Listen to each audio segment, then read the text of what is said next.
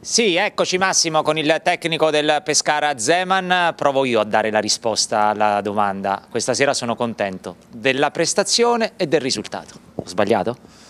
È sbagliato, nel senso la prestazione si poteva migliorare, abbiamo sbagliato troppe cose facili, il risultato mi dà soddisfazione. Però sì. si è vista la migliore prestazione del Pescara, simile a quella di Perugia del primo tempo?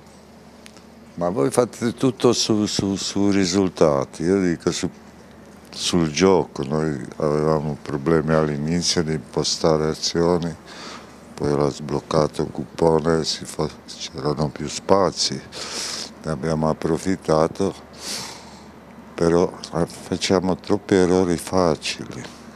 Nei primi, in occasione dei primi due gol, secondo me si sono viste le vere azioni che vuole il tecnico Zeman. De Marco che va dentro, appoggia per Merola, la chiamata di eh, Floriani, il cross e il gol e poi la giocata esterno-esterno per il gol del 2-0. Massimo la paragonava da studio a quelle di Insigne dei bei tempi. Sì, qualche giocata buona c'era, ma non bastano secondo me.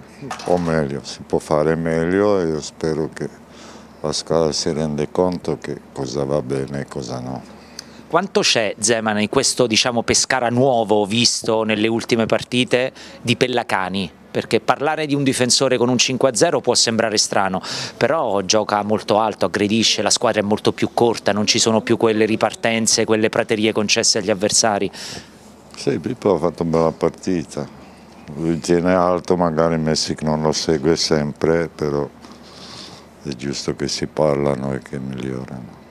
Zeman nel complesso eh, è l'inizio di un nuovo campionato dopo quel momento negativo di risultati, no? Ogni volta si perde si dice una cosa, si vince si dice l'altra. Noi siamo in campionato, questa è quindicesima, sedicesima, sedicesima forse.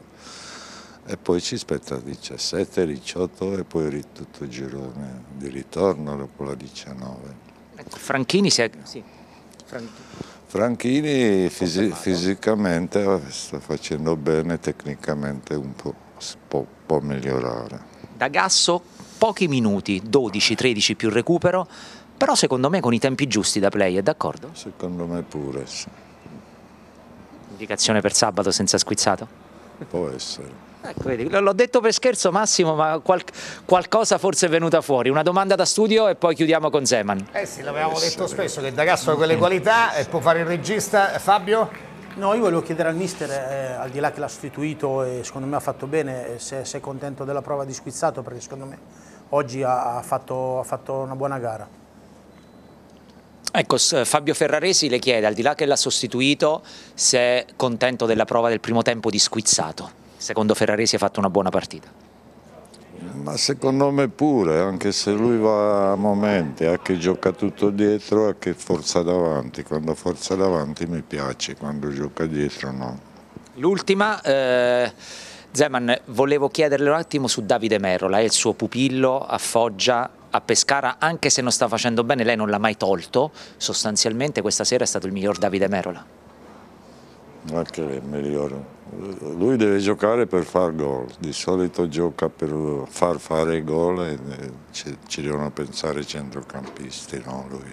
Ma questa giocata, e poi proprio chiudiamo, Cangiano Merola che aveva fatto a Cornero per Merola che poi gli ha segnato Cuppone qualche giorno fa, le ricorda quelle di Insigne?